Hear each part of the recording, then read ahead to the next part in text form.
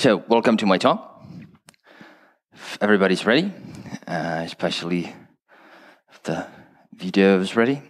Um, this talk originated only as a couple of slides that AMD asked us for that basically showed how GCC 8 was doing, especially comparing it to other compilers. Um, necessarily, mm, or, or however, we then expanded it a little bit for AMD, and then ex I expanded it a little bit more for this occasion. And I will be going through the most notable improvements on the spec suit, spec benchmark suit that GCC 8 and a little bit also GCC 7 had, uh, show you why was happened, and then we'll get into the comparisons as well. so, right, GCC 8 was released this spring. And uh, together with many various usability and language improvements, it also has quite a few optimization improvements. When we were looking at the results of various benchmarks, it was very, very nice to see a lot of green bars, a lot of improvements. Was, you know, we, we believe that is a really, really nice release. And this talk specifically will uh, look at the performance evaluations that we get when we benchmark uh, the binaries created by GCC 8 um, on a Ryzen machine. And using the industry standard spec benchmark, I uh, do not know whether you're familiar with it, but uh, it is a benchmark that's, you know, that is very widely used in industry and academia. However, it, it is a benchmark that was originally created to uh, evaluate performance of computer systems and the spec uh, CPU, spec int and spec floating point in particular that we'll be using was created to evaluate systems, not necessarily only compilers. So in order to evaluate mainly compilers, we tweaked it a little bit. I'm saying this, and I want to have this on the slides, just you know, to let you know that we have violated a few of the rules of how you you know, are supposed to measure these numbers. Nevertheless, we still believe, uh, well, we, we, not only believe that they are still very good in, or, or, very useful to compare compilers as opposed to system, but that actually improved, improved the situation. A um, couple of more notes. Uh, all the performance numbers that you'll be seeing are single-threaded performance. We haven't looked at, uh, you know, running these things in parallel too much yet. And um, all these numbers are the standard normal compilation that's been used for decades now. We do not use link time optimization. One of the reasons why we do not have LTO numbers in this talk is that I'm having a talk on LTO on Wednesday. It's the final talk, or one of the two final talks of the conference. Um, and um, another one is that it makes the comparison slightly awkward sometimes, and we'll get to that later in my talk. Uh, these are just some of the optimization improvements that we have in GCC 8. We'll be going through some of them. Uh, basically, I just want to you know, show people that there are many. I started a little bit late, so I'll skip that slide and get directly to the spec numbers. So again, I do not know how familiar you are with spec, but how the spec numbers work is that either you can, of course, just time the benchmarks, and that's not normally we do. And normally, you know, when, I generate graphs for my own personal consumption, smaller is better. But in throughout this talk, actually, you know, the, the bigger the, the bigger numbers are, the better ones, and that is because the spec standard defines uh, what they call a base performance uh, for each benchmark. And then uh, the score for each benchmark is just how uh, many times faster your system is compared to the base performance. Um, and then across the whole, whole, whole suite, um, what they do is that they calculate geometric mean, and that is the final and, and, and the most important uh, spec score. Uh, there are, of course, many more caveats, but we, we don't have to get into those for the um, purposes of this talk. Uh, and we can have a look at how GCC 8 is actually doing compared to GCC 7 and GCC 6. Spec 2006 uh, was actually retired this spring. It is a fairly old suite published in 2006, and uh, the intent is to replace it with 2017, published last year. Uh, nevertheless, Spec 2006 is still, you know, used in in very many papers. We still measure it. We still have a, you know, we still look at it. Um, but it's been here for a long time because it is a, such an important benchmark. Compilers have concentrated on, on, on getting the numbers there, you know, getting, getting very good numbers there for a long time. So it is quite a bit of an achievement that we were actually able to improve. As you can see, all these numbers compare GCC 6, 7, and 8 in different colors. Um, and uh, we have a look at the performance of a binary compiled with optimization flag O2 and the generic tuning, where generic tuning means for basically any x 86 x 60 uh, x 8664. I beg your pardon.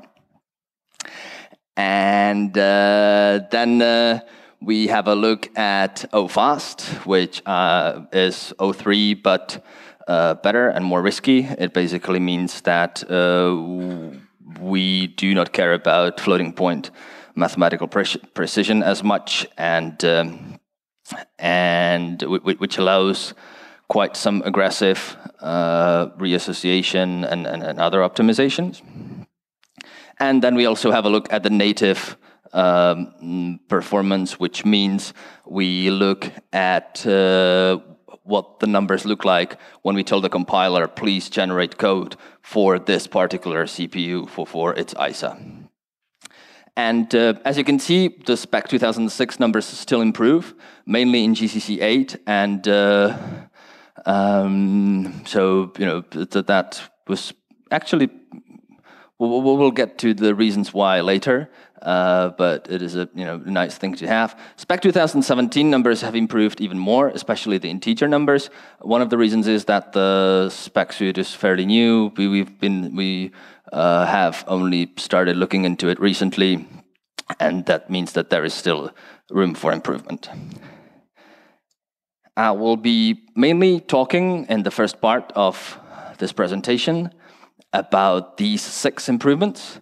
Um, the most impressive, at least in terms of numbers and graphs, is the HMMER benchmark. Uh, and uh, yeah, all of them improved at one or all optimization combinations quite a bit.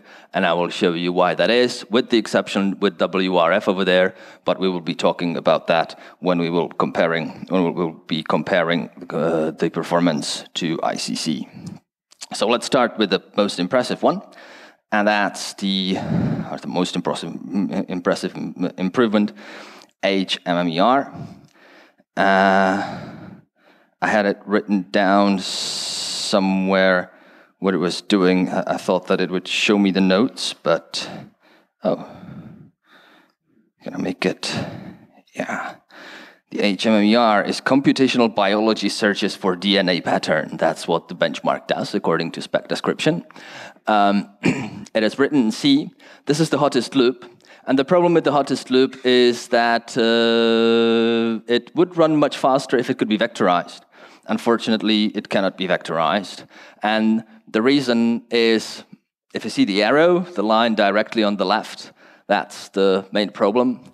Uh, the computation of the element k in the array DC uh, directly depends on what we stored into that array in the previous iteration. And the, you know, when we, we are loading DC K minus one, and that means that unfortunately there is a cross iteration dependence. If we if we attempted to do four iterations or two iterations or more iterations of that loop at the same time. We are not able to because we need the result of the previous one to calculate this one. So the reason or, or, or the way around this is to make the compiler automatically decide and discover uh, that it is beneficial to split or distribute is the term that's often used the loop into three. So the inner loop the transformation is mm, you know outlined. That's not you know it, it, it is not a source to source transformation, of course. But what happens inside the compiler is uh, that the loop is transformed as if it looked like something on the right, uh, where we split the inner loop into three, and um, under one condition, then I'll get uh, that I'll describe in a moment.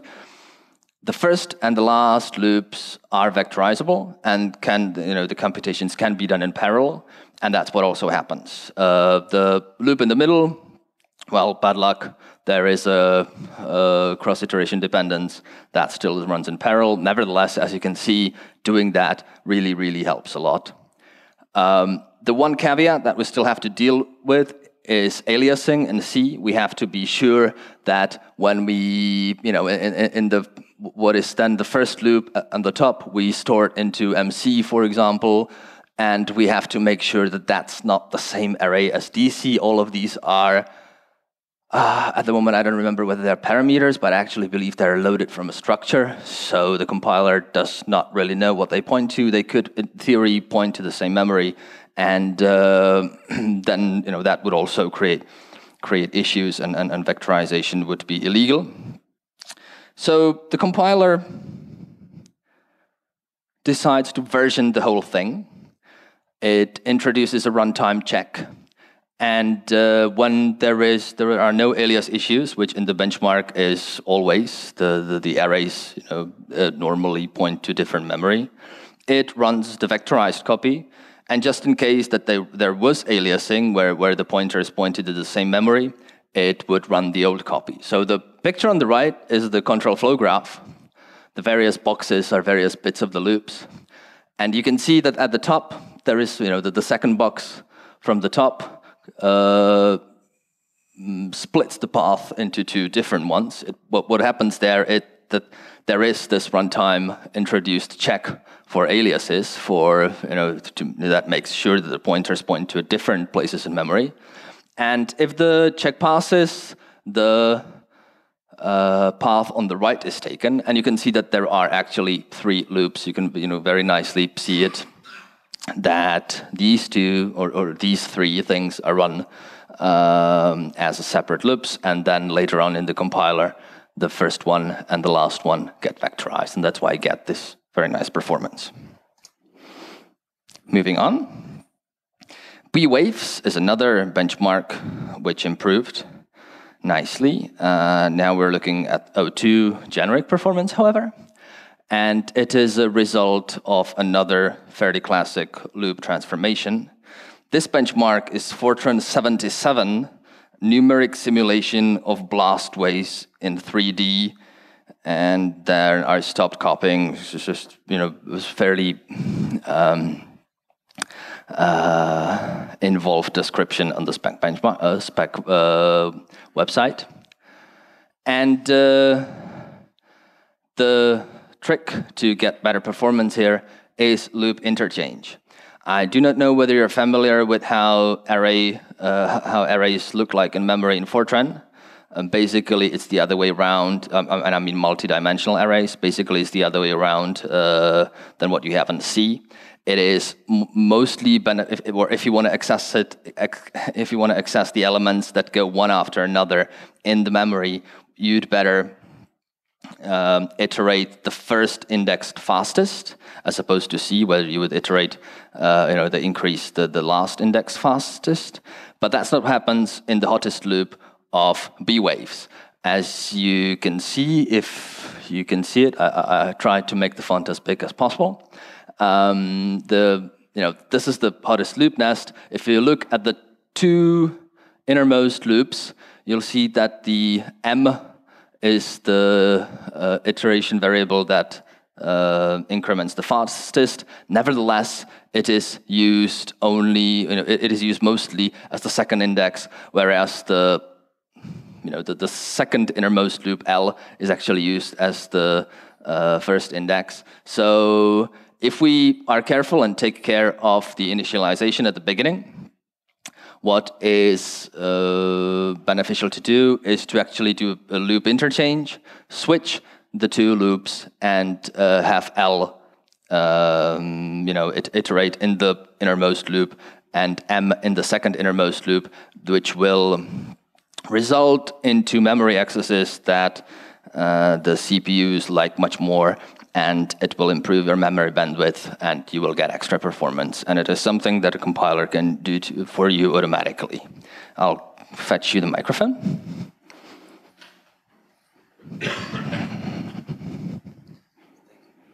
You have to switch it up.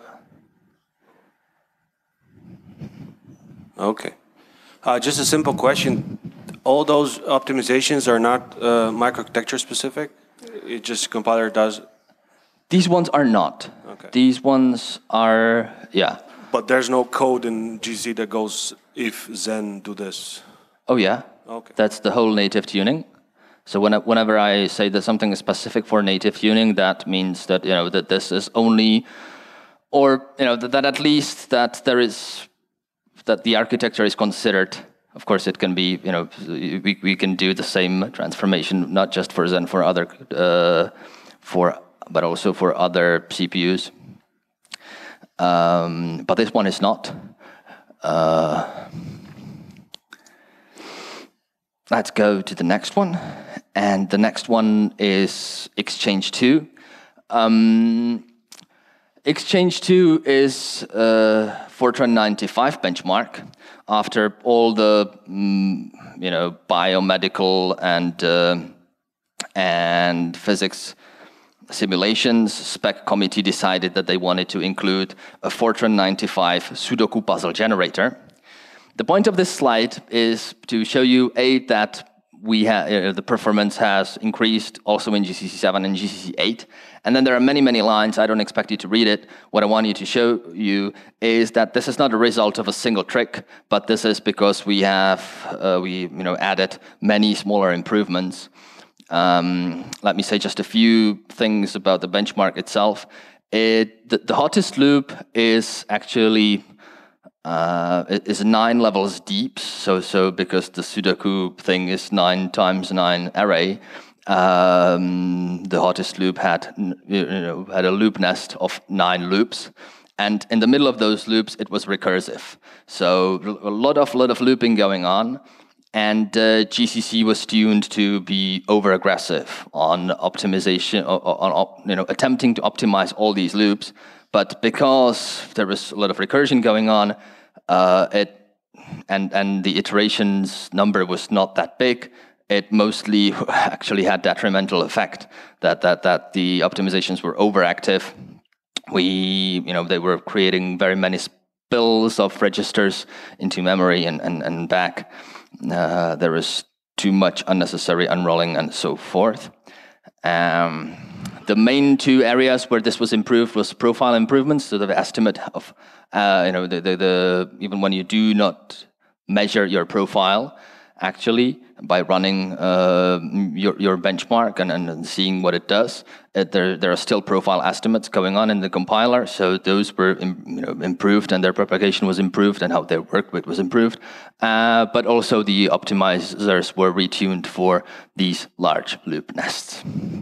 That's how, how, how we got there. Another example of benchmark that improved, that's a result of quite a few uh, smaller improvements, is X64R, which is, uh, and I'm not sure whether it's a video coding or decoding library, um, but uh, it is a codec basically. And uh, mm, yeah, there were quite a few things improved. The biggest improvement actually already achieved in GCC 7 was making sure that this code is not generated. Um, I wanted to put three lines in bold font, but it can't be seen on, on, on the slide, I'm afraid. Um, yeah, the first two instructions are just fun instructions. You can ignore them. I don't know why I included them in the example. Nevertheless, um, the, the, the, second single move stores a value on the stack. The last but one instruction uh, stores, st stores a value just adjacent to that on the stack. And that's how we created vectors that were then loaded uh, and used as a vector operand in the vector instruction. Nevertheless, storing, uh, you know, putting things in smaller chunks into memory onto stack and then loading them in, in, in, in, one bigger chunk led to store to load forwarding stalls within the CPU. That's not what the CPU liked. And uh, yes, it stalled a lot. We managed to actually use instructions to create vectors rather than rather than construct them on the stack. And that was uh, the, the one transformation that helped this benchmark most, even though it's definitely not the other one, uh, not the only one. And the final benchmark that I wanted to talk about is Parest. Uh, and uh, this is not code from Parest. If you think that this is just a matrix multiplication, you are completely right. It is just a matrix multiplication. But last year we discovered that it is really, really slow when we compile in the, you know, in the native mode, when we tell the compiler to actually generate uh, for Ryzen. And the reason was that the FMA, fused multiply and add instructions, that, which is an instruction that can multiply two numbers and then add a third number to it in quite you know in, in a fewer cycles than what two you know equivalent floating point um, instructions would take. They're not all that equivalent because the rounding is different there, but nevertheless, uh, in benchmarks we do not care all that much. And um, and uh, the the problem is that if you have these FMAs and they feed into each other, like in this small loop, you know, you know, the, the result of all these, uh, the, the, the, the result is accumulated at XMM zero, which is then uh, uh, used. How come it's not? Ah, okay. All right, yeah. Uh, yeah, that's true. So they, they are accumulated in XMM zero, and um, that means that the output is also um, a dependence for the next FMA. And uh, what's happening in Ryzen, at least, is that FMAs are waiting until all the inputs are available, which means that uh, it waits until the previous FMA instruction finishes, where, whereas what you could actually do is already start with the multiplication. So when you do not create these FMAs in these conditions, um, you, you can be doing multiplication and addition at the same time. Whereas if you try to use this instruction, which normally, you know, usually is a beneficial one, and, and, and measurably so, it introduces stalls. Now, we'll do a slight comparison with ICC. This was basically the results that inspired the original version of the of the slides, where uh, some people at AMD asked us to put up, yeah, to, to put together slides that would show that um, GCC eh, on integer benchmark is actually better than ICC, the Intel compiler. Now, comparison comparing with Intel compiler on Ryzen and you know, you may think it is slightly unfair because the ICC, of course, does not optimize for AMD CPUs, and you are completely right. Nevertheless, uh, it is important uh, to have a look at, or, or, not important, very often beneficial to have a look at what ICC does on the spec benchmarks, because the spec benchmarks require not, not only low-level optimizations for a given architecture, but also high-level overall transformations, like I showed you, the interchange or distribution and things like that. Uh, and um, they are, you know, the, the compiler on, on, on, a spec benchmark at least is a very good one. And, uh, you know, we, we it, it is being able to do as well as they are means that we are able to do all these uh, important high-level optimizations. So um, it is an interesting and useful comparison. Um, I want to point out here is, though, again, that we did not use LTO, uh, link time optimization, for the you know for obtaining these numbers, and uh, uh, that hurt ICC more than GCC. There are two reasons for it. One is that sometimes they do not perform optimizations even you know without LTO, even though they are perfectly legal, and we don't really understand that. Uh, the other one is that ICC um, does perform memory reorganization, struct, data structure reorganization optimizations on some of the benchmarks, where it takes, for example, uh, arrays of structures and turns them into a structure of arrays, and and and there's various, you know, fairly on, on one hand fairly impressive transformations. On the other hand, if you add a printf somewhere or something, it, it, it is very fragile. The whole thing can break very easily because some some address escapes somewhere, and we believe that at some point probably. Um, changes should be made in the source co code rather than uh, you know depend on the compiler to choose best data structures for your whole application. Nevertheless, it is something that we you know want to have a look into and, and, and may do some of it, but currently we don't. But if you look at the overall spec, uh, spec result, the integer ones are actually slightly better than ICC. I'll show you why. I, I, uh, it is probably more fair to say that we are on par. We are just as good. Um, on the floating point, mm, on we are either doing pretty much equally well or are slightly worse, and I will get to the main reason why in a moment. First, let me show you mm, individual scores of individual benchmarks. LibQuantum, uh, where we are doing much better than Intel on the uh, on, on, the left, is one of the reasons where Intel just does not pr uh, perform all the optimizations they could without LTO, even though they could, uh, which is strange. Um, on the other hand, I believe that, for example, Exchange on the right is rather genuine, and they probably haven't had so much time to look into it. These are floating point numbers, and uh, there are some cases of that as well. One of these is Calculix, where we are without LTO, we are doing much better. With LTO, it's the other way around, actually.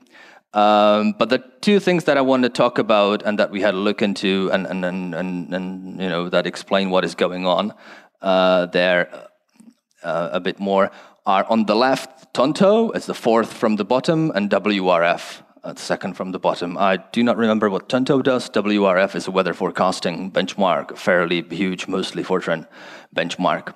We had a look at the Tonto, and what you do when you compare, you know, when you want to figure out what's going on, is of course you run perf and, and see where where the um, applications pairs all the time.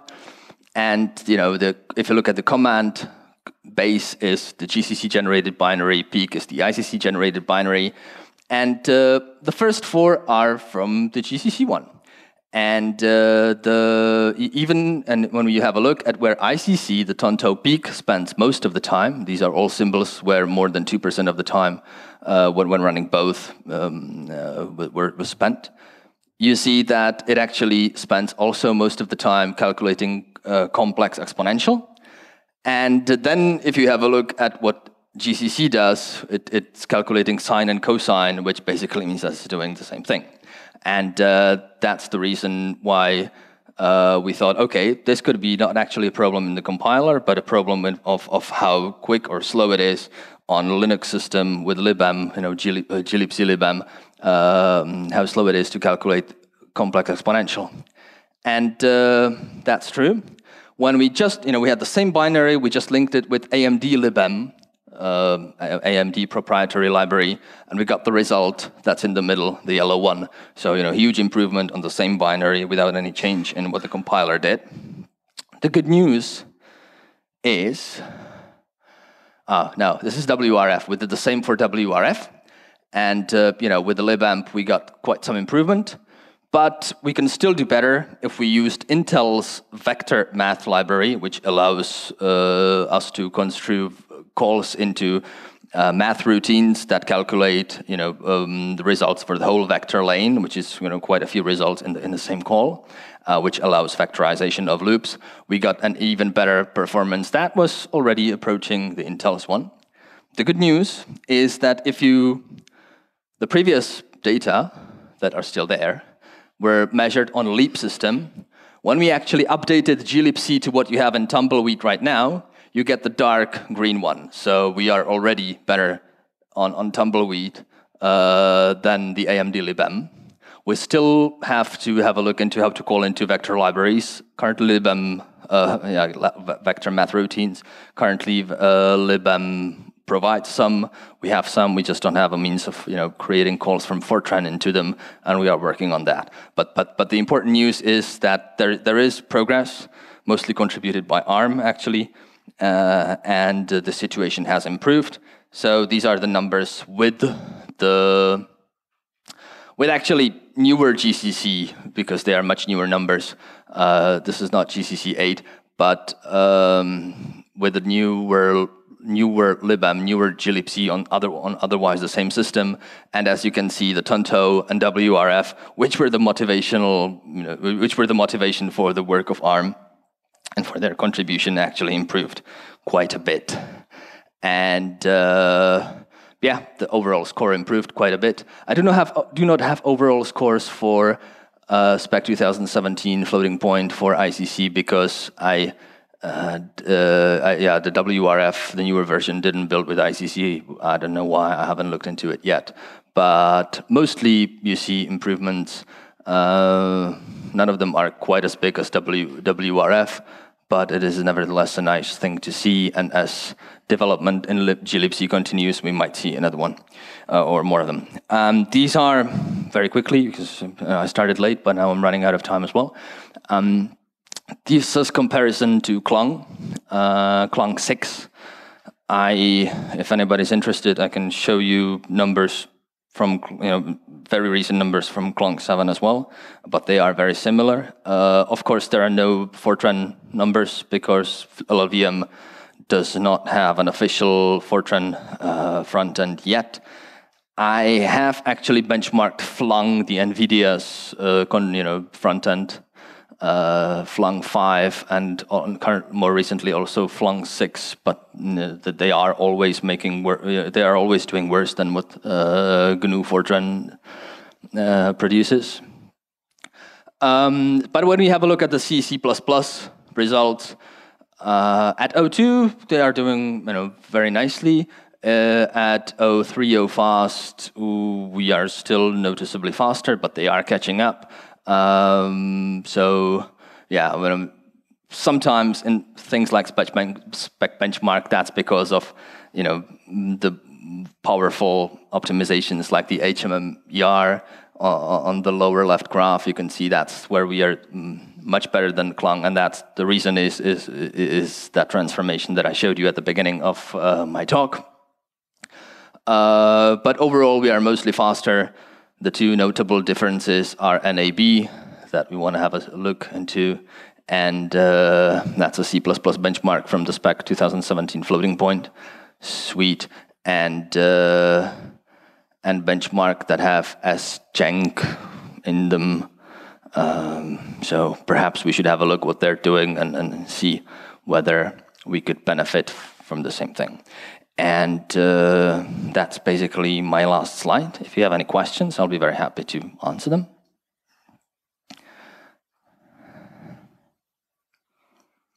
No, no questions. So thank you very much for uh, your attendance. And uh, yeah, I'll be happy to answer any questions in the lobby or elsewhere later on. Thank you.